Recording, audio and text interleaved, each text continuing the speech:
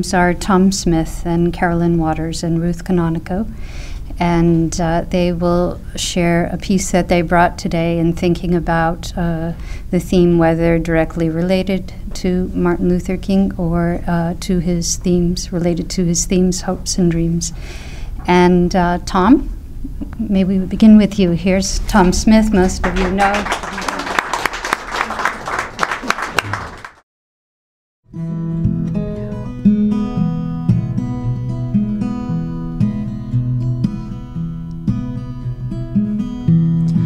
I knew a man who had a dream. The kind romantic fools and visionaries see. That all people are deserving of. A rule of law founded on love but when dreams meet power,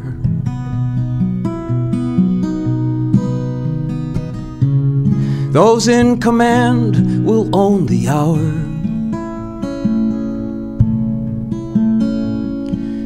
Into prison he was thrown,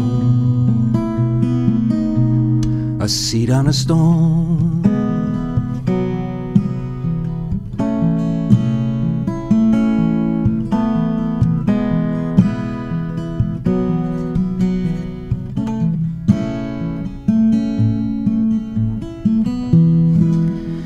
They did not comprehend. That seed contained the hope of women and of men. Hope that would not be denied. When restraints had been untied, its root found a path.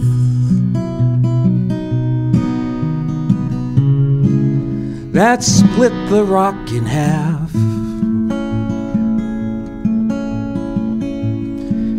The impossible was done by a seed on a stone.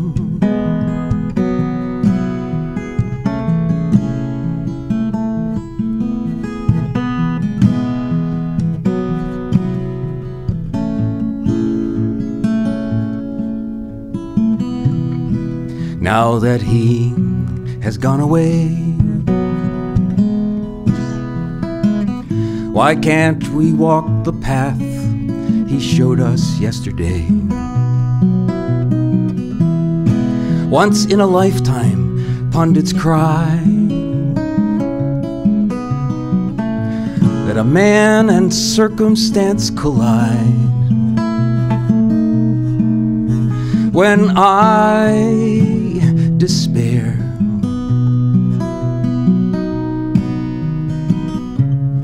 I seek the fruit his life did bear. I find it on a tree that's grown from a seed on a stone.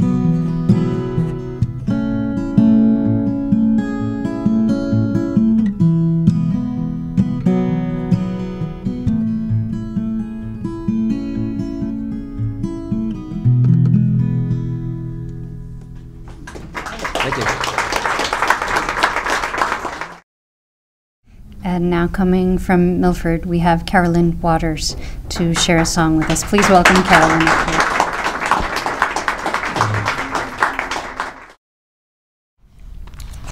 So it's been very encouraging um, to hear the stories today and hear how much we've done and how much progress has been made. Um, because recently, um, with the events in Ferguson and with Eric Gardner, I've been in this place where I don't understand why the world doesn't stop until we figure all of this out. Um, and what strikes me most about how we continue is that it seems to me to be very much, we live our lives very much as we always did. Um, we worry about all the things that uh, we always worried about. And I sit sometimes and I wonder why doesn't the world stop and figure this out and then continue on? Um, so I've written a song. Um, it's still in its preliminary stages, but it sort of um, helps me express this sort of confusion and this wonderment that this stuff is not a bigger deal in this world that we live in. Um, and so this call, this song is called "Business as Usual," and uh, please, um, the chorus you'll pick up on, and please join in if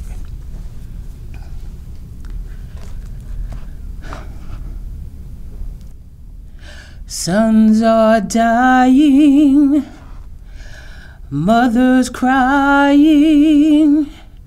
We're realizing we're not all free. Bullets flying, souls are sighing. We're denying we're not all free we're not all free. I wanna go vegan, my daughter said to me today. Growing up, trying hard to find a way. I say the world is kind, just go out and be yourself. Take your turn, don't go sitting on the shelf, but our sons are dying, mothers crying. We're realizing we're not all free. Bullet flying, souls are sighing.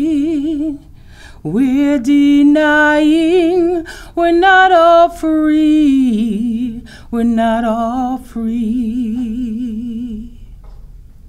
Go to the market and get the juice, some milk, some eggs. Then to the cleaners, next a waxing for my legs. A dip for the party, friends dropping by tonight. Pick up kids from school, makes a, make the house look just right, but our sons are dying, mothers crying. We're realizing we're not all free. Bullets flying, souls are sighing. We're denying we're not all free. We're not all free. Keep your head down, don't draw attention to yourself. You're a black man, not like anybody else. You sacrifice to get home safe at night. You live the lie that we all have equal rights, cause our sons are dying, mothers crying. We're realizing we're not all free. Bullets flying, souls are sighing. We're denying we're not all free. We're not all free.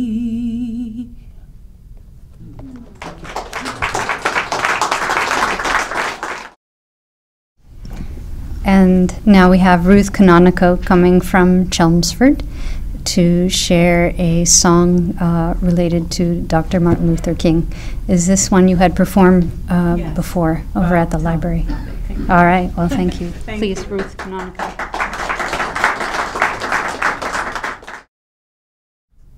I'm going to actually read some things that I read um, because I saw Selma, the film, yesterday afternoon. One of the film Selma's most powerful moments, and one frequently singled out by critics for praise, captures a secret, crucial reassurance murmured into that most tenderly held instrument, the telephone receiver. Afraid of what Selma holds for him, King makes a late night call to his friend and fellow freedom fighter, Mahalia Jackson, portrayed by the versatile vocalist Ledisi, and asks her to share the Lord's voice with him. And she answers by singing his favorite gospel song, which I will sing. But what really touched me is to find out who wrote the song and what was happening. Back in 1932, a gentleman who had a church that he was, uh, the Ebenezer Baptist Church, that he was head of choir music, choral music, um, was experiencing a loss that most of us would never want to have to experience ever. His young 24 year old wife, Nettie, died in the delivering of their first child. He was notified by telegram because he was in another town at the time. He had changed from writing what they called dirty blues. I'm not sure who gives it that quality. Um, I think it was just blues. And he was working very hard towards uh, writing spirituals and gospel hymns. But at the news that his wife had died in childbirth, and then he raced to, to the hospital and he held his baby before he died the next day. And with a heart broken, he felt he could never write another word again. But a week later, he was in a community center with a friend who was a musician, and he saw a piano and he sat down and he thought of a tune that he loved, Amazing Grace. And he started to write, sing out loud words of his heart. And because the nature of the song that he wrote, gospel music took a turn towards writing not about the next world just that you want to go to when you're a black man in America or a black woman in America growing up and the life you live is so horrendously difficult, but writing from the place of pain towards the God that you ask and implore for help. So he wrote this song. It became Dr. King's, well, it's reputedly his favorite song, although there were many, many songs as part of the uh, movement. so I'm going to do the best I can, but as I said on my way here, I had to sing it for uh, Owen, who was driving me here. Uh, my voice has developed uh, a French quality called a frog. I'm not sure why. but I'll sing it and I'll repeat the first verse again at the end, and then if you wish, you can join me there. I've listened to a lot of renditions of this. I've slowed it down considerably because of what I've heard. Precious Lord, take my hand, lead me on, let me stand. I am tired, I am weak, I am worn through the storm, through the night. Lead me on to the light. Take my hand, precious Lord, lead me home. When my way grows drear, precious Lord, linger near. When my life is almost gone,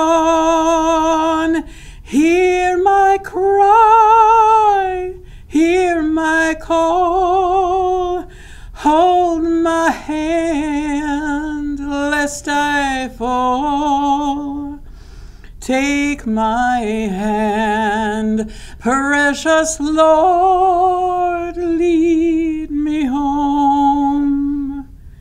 When the darkness appears and the night draws near, and the day is past and gone. At the river I stand, guide my feet, hold my hand, take my hand, precious Lord, lead me home.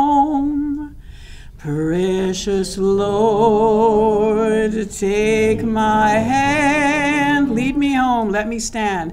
Lead me home, let me stand. I am tired, I am weak, I am worn. I am tired, I am weak, I am worn through the storm, through the night.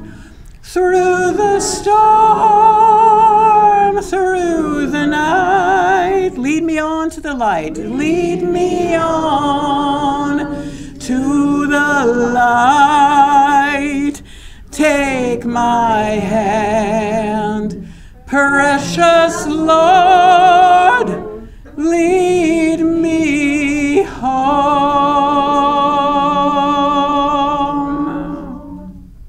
Thank you.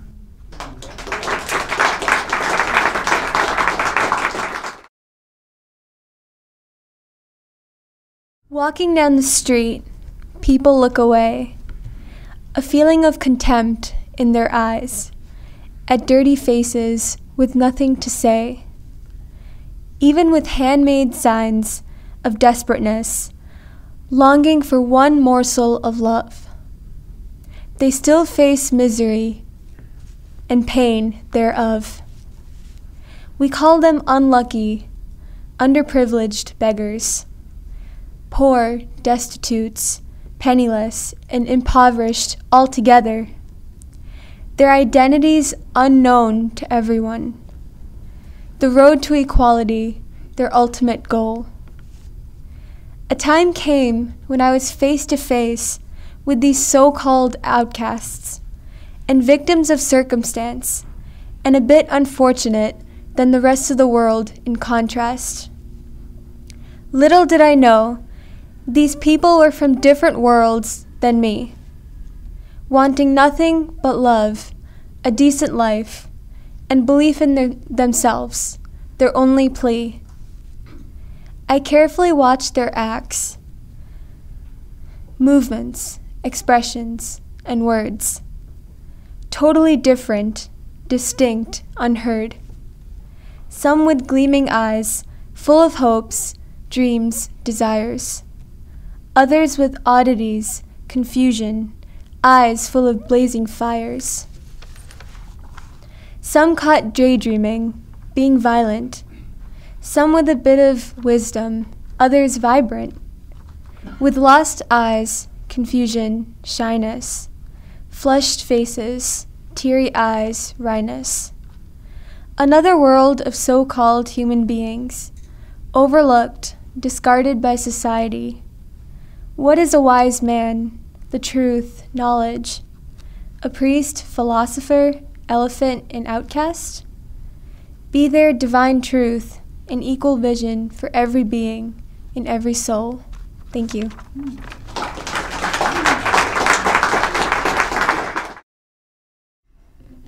He's black, an ex offender.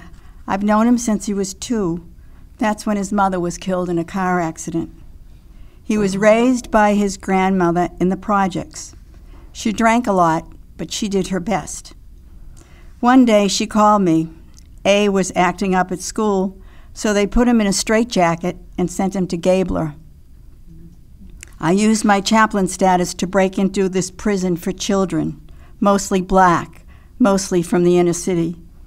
He was eight and put in isolation. You could fry an egg on the floor, it was so hot. I got him out and sat with him. He wasn't talking, but he was listening. I heard the staff member coming up the stairs with some children. She was yelling, Shut the F up. I gasped, and then A spoke. She says that all the time. Later, I went to a staff meeting. A was the main agenda. Despite what I said, they decided to go to court to have him made a ward of the state and placed permanently at Gaebler. They didn't know his background mother dead, father in prison. It didn't matter. So I went to juvenile court, along with a good friend, a therapist, and court savvy. No books or toys in the waiting room for kids. Interesting. I made a note to myself get some. The judge heard the story and decided against what was being proposed by Gaebler. A could go back to his grandmother and to the projects. On weekends, he came to my home and built a lasting friendship with my kids over the years. His father was released from prison, angry but strong. He built a home for his children. He tried very hard. And then his heart gave out and he died. It was too late for A. Wrong friends, in trouble always, then in prison, locked up too long for charges that a white man would only serve months for, if that. Now he's out, trying to keep on the right path. We've been helping him to get through some red tape, but he has this idea that if he stays in the shelter, he will have a better chance of getting housing. The shelter puts him out on the street at 6 a.m. and opens the doors again at 6 p.m. I don't know if he'll make it out here. He has a job and gets paid under the table. But the other choice is to go back for free food and shelter. He spent the holidays with us, some beautiful days. We had great fun, lots of laughter with kids and games and family togetherness. What pulls at my heartstrings after a phone call or a visit is what he always says Thanks, Aunt Dot. I love you much. I wonder what Dr. King would say about what's happening in this country. We've made some changes, but not enough. Change comes with justice and equality for all people. And then change comes from the heart. Maybe, someday, I hope. Thank you.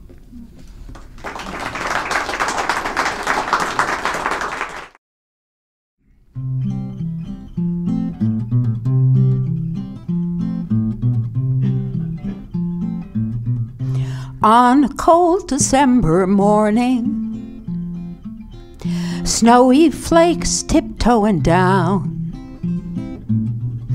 wind whistling in the chimney ashes blowing all around. There's a changing of the season, winter's calling out my name, saying, Bundle up and join me, and we'll play the winter game. Streets are covered in the whiteness all the houses bright and new. Pretty as a picture postcard, winter color, winter hue. As I step out in the darkness, waiting for the morning light, sipping on my cup of coffee wakes me from the sleepy night. Still, it's not the same without you. As I stand here in the cold, I wonder how you're feeling since you've gone out on your own. But you know, I'm waiting for you. My heart's calling out your name. just to come and share the season and play the winter game. I would gladly be a snowman, build a snowman, be an angel in the snow. Skate I love yous on the meadow pond when it's 25 below. Make a fire to take the chill out. Hold you close and not complain. Tell me that you'll come and love me, and we'll play the winter game. Tell me that you'll come and love me, and we'll play the winter game.